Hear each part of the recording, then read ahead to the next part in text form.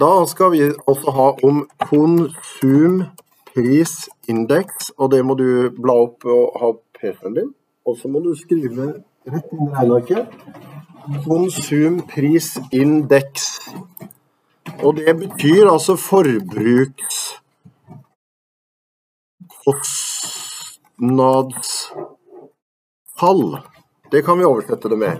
Ikke sikkert det hjelper så mye, men forbrukskostnadstall ikke sant? Fordi regjeringen og alle land må ha greie på hva koster det egentlig å bo i dette landet. Og som jeg sa i går, så kan ethvert land bestemme om befolkningen skal være rik eller fattig. Vi kan skru KPI vi, vi lærer det, KPI. Vi kan skru KPI rett til himmels, og da blir det jo kjempedyrt å kjøpe alle varene. Og da blir befolkningen fattig. Så kan vi sette KPI ned, og da får vi god råd og tjener godt. Eller de kan skru lønningene opp og si at OK, dere skal få god lønning. Da vil vi òg ha det greit i det landet vi bor i. Eller de kan si nei, vi har ikke råd, vi gir dere ikke høyere lønning. Ja? Men har ikke det sammenheng med liksom det globale? Jo, det har det. Hvis de, det hjelper jo ikke i landet gjør noen andre. Nettopp. Perfekt. Veldig intelligent. Fordi vi, vi tilhører et internasjonalt marked. Så vi er nødt til å forholde oss til det. Så det er jo egentlig markedet som bestemmer. Og hvem er det som bestemmer markedet? Det er, Karoline? Kjøperne bestemmer markedet. Og det er svingninger, og vi skjønner ikke helt. Vi sitter langt i nord, i et lite land. Ingen holder fast. Ingen bryr seg om norsk økonomi. Den er så liten at Saudi-Arabia kunne tygd den til frokost.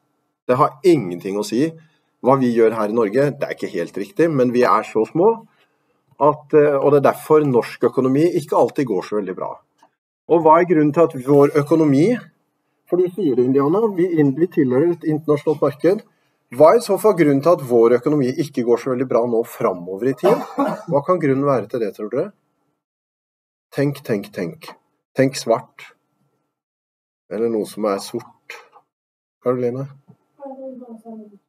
Det er mange som er imot olje. Og hvor, hvor går denne verden? Den går jo mot en grønnere verden.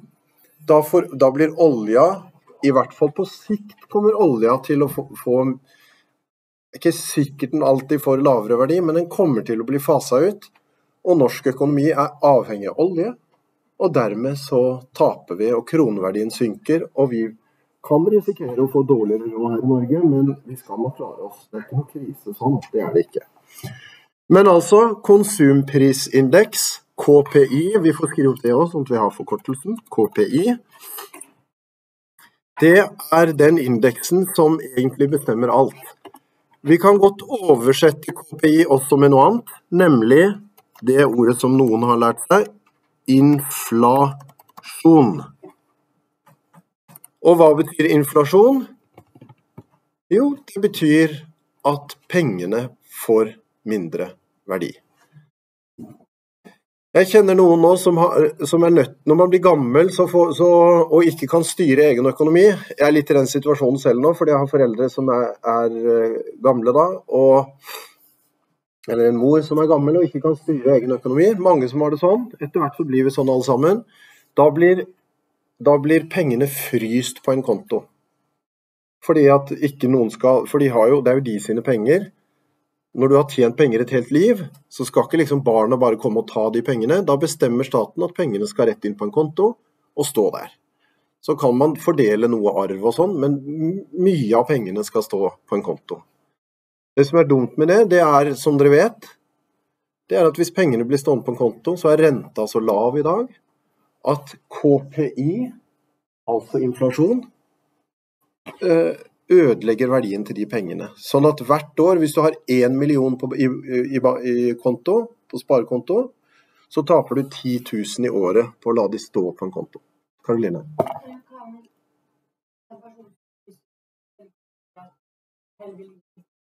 Ja, da må de ha testamentert det. Da må de skrive det mens de er i stand til å ta vare på egen økonomi.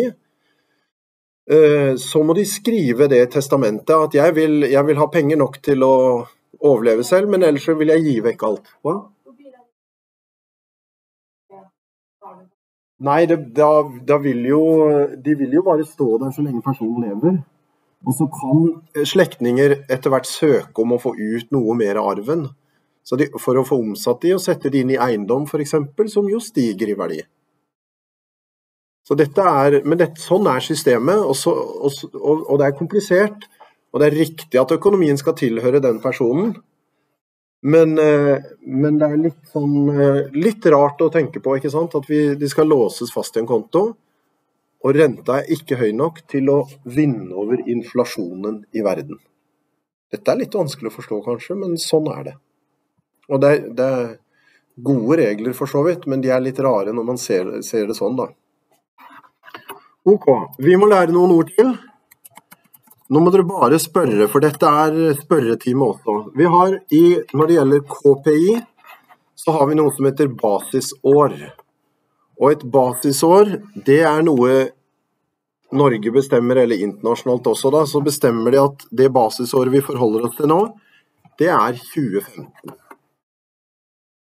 Og i basisåret så er KPI, altså Konsumprisindeksen, den er 100. Hvert eneste Det forrige basisåret, det var 1998. Da var også KPI 100. Og det betyr at eh, Nå kan vi jo se i 20 Nå ser dere her. 20 skal vi finne 2015. Der ser dere KPI 100. Og så ser det ut til faktisk i løpet av januar så sank KPI. Det skal den ikke. For på sikt, så er vi på 2016 her, så skal KPI stige. Og det ser dere framover her mot uh, 17 osv. opp igjennom her. Så ser dere at KPI stiger. Nå er vi i 2021, og KPI i oktober 2021 er 117,2. Og hvor mange prosent har varene hvor mange prosent har prisen på varer som vi trenger økt fra 2015 til i dag? Det er lett å svare, det kan mange svare på. Tenk dere om. Det starta på 100.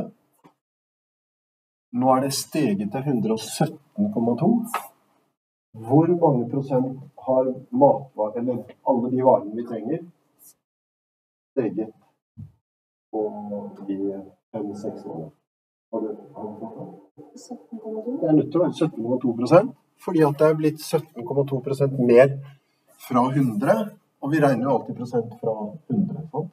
Ja. Jo, for da blir vi bare enige om å si at ok, nå bare regner vi alt på nytt igjen. Når den der blir oppe i 160-170, så nærmer ja, så er det en ny standard. Så sier de bare at prisene er der jo. Melka koster nå 25 kanskje, ikke sant, i 2030. Og så sier de men nå er KPI så høy, så nå setter vi ned KPI på 100 igjen. Men prisen på varene endrer seg jo ikke. Men vi bare starter på nytt og sier at nå øker det derifra, egentlig. Eller synker, for det kan synke òg. Men det skal vokse. Ja. Litt begreper, det er, det er viktig å, å, kunne her. Eh, vi skal ta neste begrep. Og det tror jeg må bli rett og slett Vi skal ta neste begrep. Ja, vi kan ta kroneverdi. Kroneverdi Det betyr rett og slett hva en krone er verdt. Og det betyr jo i forhold til vareprisen, og det gjelder jo hele KPI. Ikke sant? Når ikke du får kjøpt du, du får, Hvis du har 10 000, så får du kjøpt så og så mye varer i 2021. Hvis du tar de samme 10 000, så får du jo ikke de samme varene i 2030. Da får du mindre, du får færre varer. Sånn er verdensøkonomien skrudd sammen. Merkelig. Det er kroneverdi. Så er det et eh, antor som heter reallønn. Nå skal vi snart gå over til å regne noen eksempler, men vi, vi skal med, fortsette med det med konsumprisindeks. Men reallønn, det er jo altså en lønn som er regnet ut i forhold til KPI. Så i og med, tenk dere det, at fra 2015 til oktober nå 2021, så har varene Prisen på varene har steget med 17,2% Det betyr at lønna di også bør stige med 17,2% Da har du reallønns...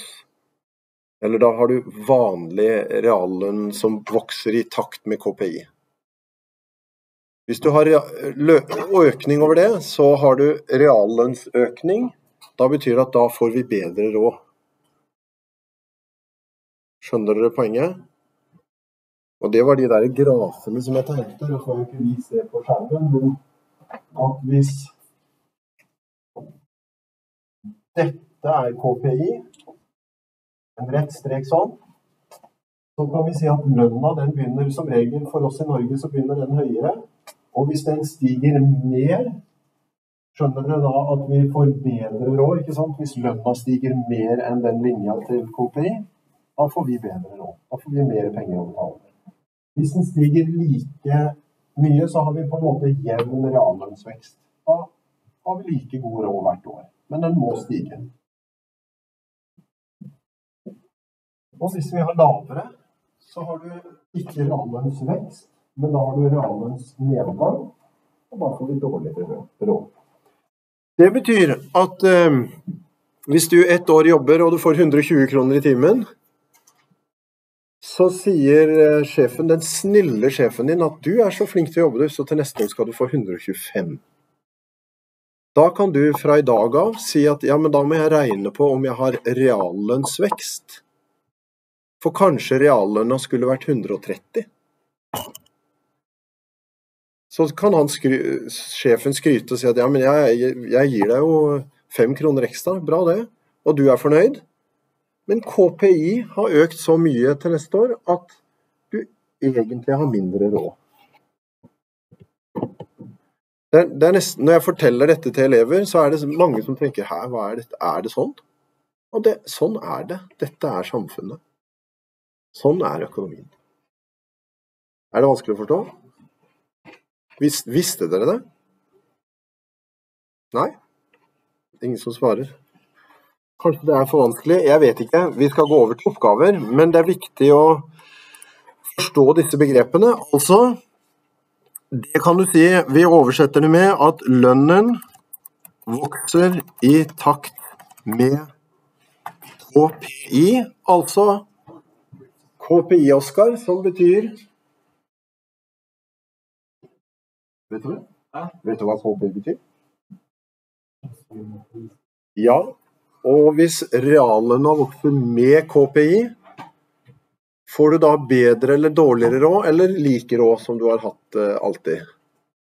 Vet du det? Ja, jeg spør deg, og så Nei, hvis den vokser i takt med KPI Hvis den vokser litt Da er det litt, ja. Da har du like god råd. Så hvis sjefen sier at ja, men jeg gir deg jo fem kroner i tillegg til neste år, så blir du kjempefornøyd. Og så kan du jo si til sjefen at ja, men hva med KPI da? Og hvor mange av dere vet at dere har eh, hva, vi, hva heter det? At dere har lønnsavtale, altså at dere har på tariff? Indianer vet det. Eneste som vet det. Og flere her. At dere har lønn på tariff. De fleste som jobber rundt omkring i greie bedrifter de har lønn på tariff, den følger reallønnsveksten. Så dere trenger ikke å tenke på det, men noen sjefer prøver å prøve seg jo sikkert av og til. Ja. Ja. Ja. Men er det bare et annet for å si at man får lønnsøkning? Eller får man da både lønnsøkning og Ja, altså det, det, Noen sjefer gjør det sånn at de, de følger tariffen og de følger KPI. altså Det er, det er regler for det. så du skal, Når du er så og så gammel, så skal du ha så og så mye lønn. Så kan jo en sjef velge å gi deg høyere lønn pga. erfaring, eller om du fyller 18. Det, men det følger stort sett også sånne regulativer. ikke sant, At det er regler for det. Og dermed så, så er det ingenting i veien for at en, en, sjef kan gi høyere lønn enn reallønn altså på linja. Men jeg vet ikke hvor ofte det gjøres, da hvis man setter veldig pris på, på det, så på, på, en ansatt, så er det klart man kan gi høyere lønn. Og, og det forhandles jo lønn selvfølgelig rundt omkring. i Jeg har òg forhandla lønn. Når, jeg, når, man får ny jobb og sånn, så forhandler man ofte lønn. Så Det er ikke uvanlig, og da kan man risikere å få høyere enn det som er normal reallønnstabell, ikke sant. Men sånn fungerer det. Ok. Vi skal da regne litt på på eh, dette med KPI. Og husk nå på at det fins KPI, det er på en måte alt. Som vi snakka om sist, så nevnte vi ja, vi må ha mat, vi må ha klær, vi må ha hus. Hva er det som har sprengt hele KPI-skalaen i, høst? Hvilken vare er det som har sprengt KPI-skalaen? Ja, i, ja, sånne, sånne, priser. Nei, det er noe annet som er litt ekstremt dyrt. Ja. Strøm. Strøm for alle, alle varer har sin egen indeks. Og strømmen har bare et stykke der. Så den har nå plutselig Og presser jo også KPI egentlig opp. Fordi det er blitt veldig Det er jo et typisk eksempel på at det er blitt dyrere å leve. OK. Vi foretar oss en eh, oppgave som står på side 72. Der står det at i Norge brukte hver husholdning 58 eh, 595 kroner på matvarer i 2019. I basisåret 2015 brukte en husholdning i gjennomsnitt 55 122. I 2012 var prisindeksen for matvarer 93,3. Da får vi en del opplysninger. Vi skal, når vi har laget et sånt tema som dette, så, så, er det det som er standardskjemaet, disse, disse, her. Da skal vi lage det på nytt igjen, og vi setter opp sånn som det står i boka. År. Og 2015, nå spør de om ja, prisindeks for matvarer i 2019 kaller vi X. Basisåret i 2015 var 100. Og så lager vi bare en tabell ut fra de opplysningene vi har. Vi setter indeks her. Og dette er indekser for matvarer. Dette er oppgave A. Indeksen i 2015 vet vi alltid er 100. Det er ikke noe å lure på. Den er 100. Ferdig snakka. Prisen Ja, vi skulle regne nå, var det 2019? 2019. Dette må alle gjøre nå, for da får dere veldig mye gratis igjen. Vi vet ikke hva indeksen var, men vi vet hvor mye matvarene var verdt i 2019 nemlig 58 959. Og vi vet hva matvarene kosta i 2015. 55,122. Så er spørsmålet hva var Jeg pleier å ramme det inn litt sånn. Det kan dere også gjøre hvis dere vil. Dere må ikke, men ja, det hjalp ikke mye.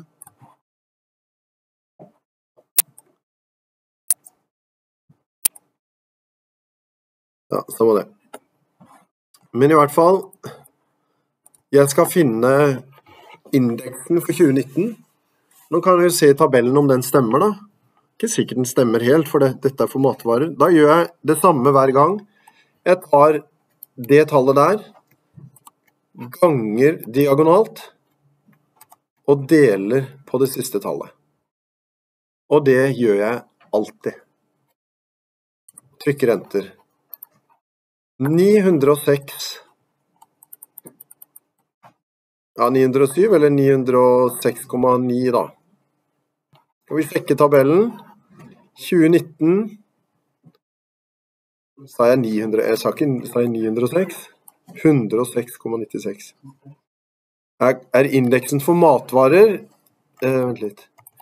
Indeksen for, totalindeksen var på 110, så matvarer var litt billigere faktisk enn alt det andre vi kjøper. 106,96, eller 107 da.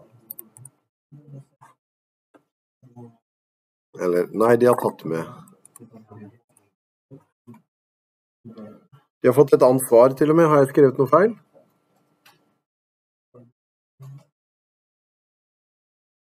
De har fått 106,3. Merkelig. Hva? Ja, da er det feil.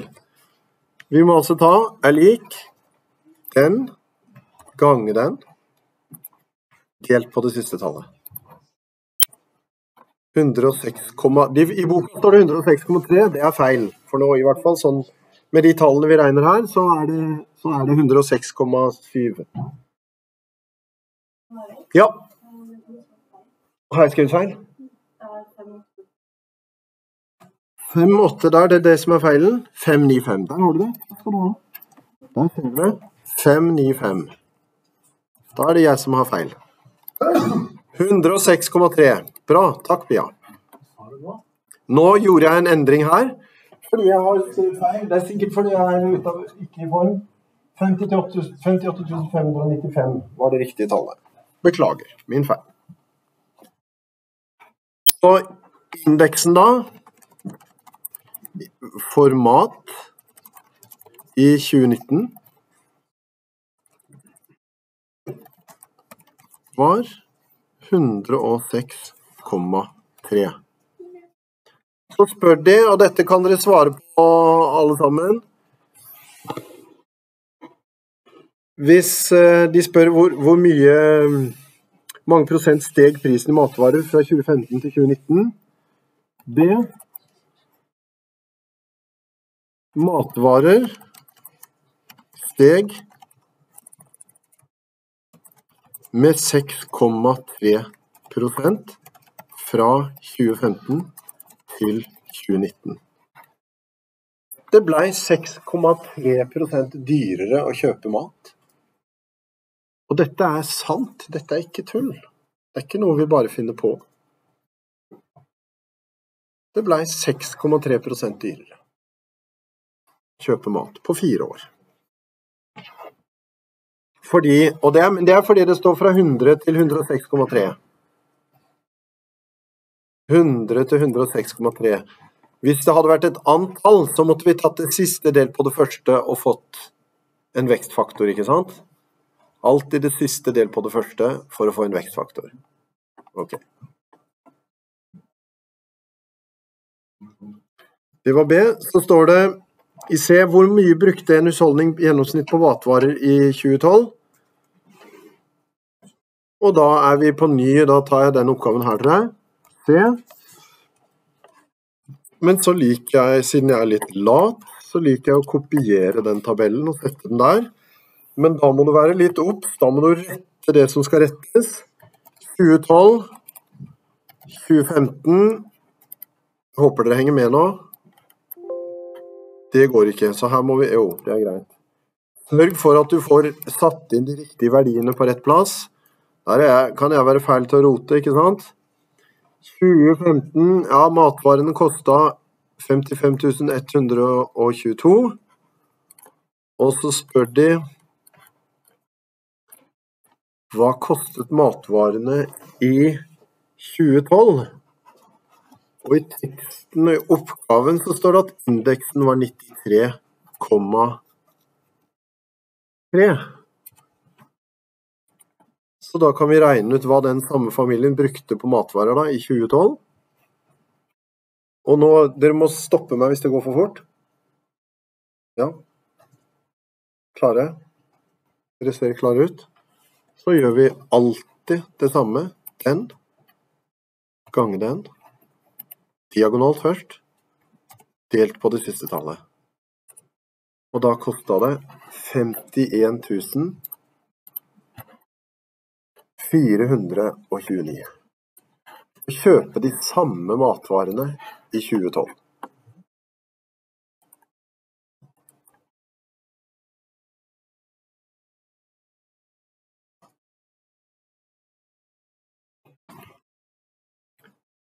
Hvor mange prosent steg prisen i matvarer fra 2012 til 2019? Ja, det er oppgave D.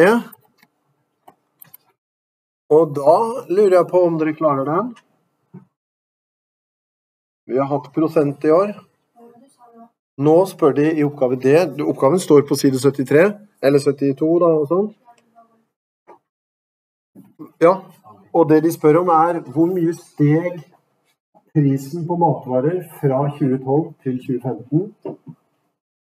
Da tar vi alltid det siste tallet delt på det første. Men du kan også ta indeksen, fordi forholdstallene er det samme. Så det er det samme hvilket tall du bruker.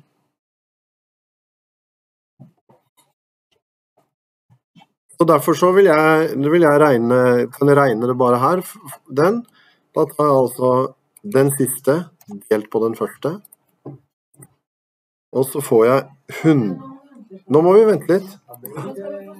Ja, men nå må ikke dere For dere sitter og hvisker og fisker hele tiden, så jeg tror ikke at dere får med dere så mye. Kanskje dere gjør det. Så spør. Ja.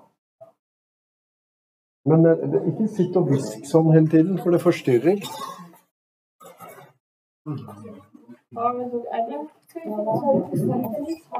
Ja, men nå skal vi finne først vekstfaktoren.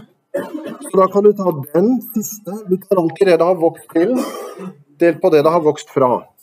Delt på det det har vokst fra. Da får du en vekstfaktor. Og hvorfor eh, Her er det noe mystisk. Mm. Å nei, 2019. Ja, kanskje vi, vi skulle finne Unnskyld, er det, er det feil? Det står hvor mye prisen steget fra ah, 2012 til 2019. Nei, da gjør vi det. Ok, det er fra 2012 til 20... 2012 til 2015. Unnskyld. Men vi skulle finne fra 2012 til 2019. Nei, vi skal regne på nytt igjen. Jeg så feil igjen. Alle med nå? Oppgaven handla egentlig om hvor mye har matvarene steget fra 2012 til 2019. Det er ikke mye verre det. Da finner vi bare tallene. Det har steget til 106,3. Og så deler jeg på det Det har steget fra. Og da får jeg en vekstfaktor. Tok du indeksen til 2012? Fordi Altså, hva har matvarene steget fra Ja, men var det at du skulle først Eller at du skulle ta til 2015? Ja. Fra 2012 til 2019 i prosent. Og så kan jeg slette den, da, fordi den ble jo ikke riktig. Beklager det.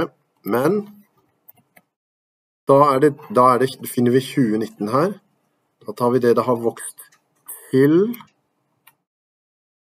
delt på det det har vokst fra. Alltid det samme. Alltid det siste tallet delt på det første tallet.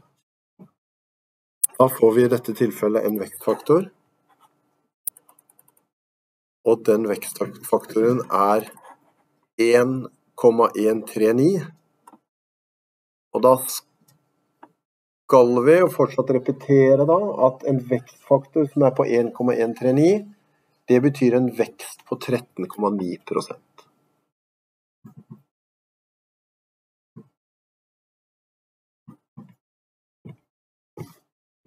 Det trenger dere ikke å regne ut. Det kan dere skrive siden vi har funnet vekstfaktoren der. Og jeg kan se at dere har delt de riktige tallene på det, på det hvis det er snakk om prøve. Da er det det siste tallet, det det har vokst til, delt på det det har vokst fra. For en vekstfaktor, og bak det ene tallet der står prosenten som det har vokst til. En tier der, en treer der, og så kom man i 13,9 prosent.